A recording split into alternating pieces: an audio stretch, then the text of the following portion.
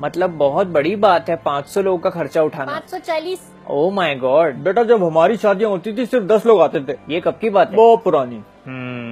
Bitching bitching bitching बिचिंग खुसफुस खुसफुस खुसफुस खुस दूल्हे की बिचिंग दुल्हन की बिचिंग नहीं किया तो हमें होगी इचिंग खुसफुस खुसफुस खुसफुस खुस और भाई क्या हाल है तेरे? मैं तो मंचूरियन खाने आया हूँ। अरे मैं भी कुल्फी खाने आया हूँ यार। मैं पिछली शादी में गई उन्होंने कहा तूने हमारी येलो थाली चुराई है। मैंने कहा दूसरों से पूछो ना कहते नहीं तूने पहन रखी है। मैंने कहा वो है वो मेरी शादी पे मैंने इतना बड़ा झुमका पहना था कान पूरा सूज गया। दर्द हुआ होगा नहीं? हट गई थी। Anjali oh my god how are you third year के बाद जाके अब मिल रही है तू कमीनी।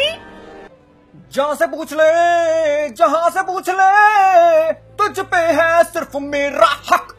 I love you Sayoni. कभी सपने में भी नहीं सोचा था कि अपनी ही गर्लफ्रेंड की शादी में बाजा बजाऊँगा।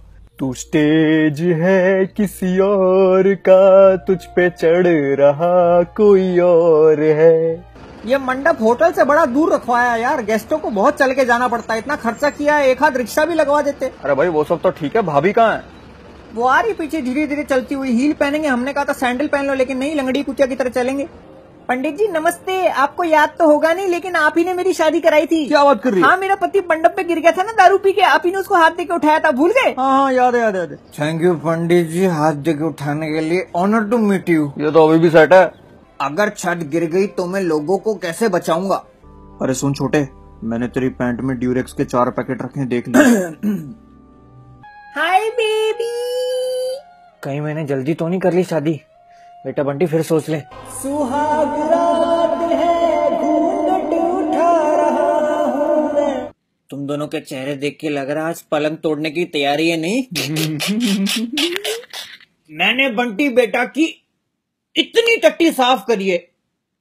मतलब अगर हिसाब लगाओ तो दिन की दस नहीं बीस बारी। ये बुढ़ा फिर दारू पी के आया। चाचा जी बस कर जाओ। अपने बिस्तर पे इतना मूता था और कहता था चाचा जी ने मूता है। और घर वालों को भी ये लगता था कि चाचा जी ने पेशाब किया क्योंकि चाचा जी तो दारूबाज है ब्लैडर खराब है। आई स्वेर मेरी फैमिली में बस यही एक आइटम है। हम्म। ये क्या अंगूठी का पेंट उतर रहा है? हम्म? अरे ये ढक्कन कब खुलेंगे? बहुत भूख लग रही है यार। गोलगप्पे वाले भैया चले तो नहीं गए? हाँ भाई रिपीट कर। मैं बंटी कसम खाता हूँ। मैं बंटी के पास और कोई ऑप्शन नहीं है। मैं झाड़ू पोछा लगाऊँगा। मैं झाड़ू पोछा लगाऊँगा। इसके सामने किसी और का ज़िक्र नहीं करूँगा। मरवाओगे क्या पंडित जी? और मेल शॉविनिस्ट पिग नहीं बनूँगा। हाँ देखेंगे। अभी ओला आ गई है। हाँ चलने हैं बस दो मिनट। ओके। अब तुम बोलो बेटा मैं स्वीटी कसम खाती हूँ। मैं स्वीटी कसम खाती हूँ। कि मैं इसको दोस्तों के साथ घूमने दूँगी। बाहर मुँह ना मारे तभी। आईपीएल के टाइम इससे रिमोट नहीं मांगूँगी। इसका बाप भी देगा। और इसका डीएम बिल्कुल चेक नहीं करूँगी। अब ज़्यादा हो रहा है। आज ऐसा पलंग तोड़ूँगा। धीरे सोच ले चूती है बाहर तक आवाज़ आ रही है। ए मेरा पल्लू अटक गया रुक जा रुक जा रुक जा। किसने कहा था मच्छरदानी पहनने को? भाई साहब ओटीपी बताओ। Five seven six nine ring road से ले लेना वहाँ ट्रैफ़िक कम होता है। पहले सीएनजी भराऊँगा।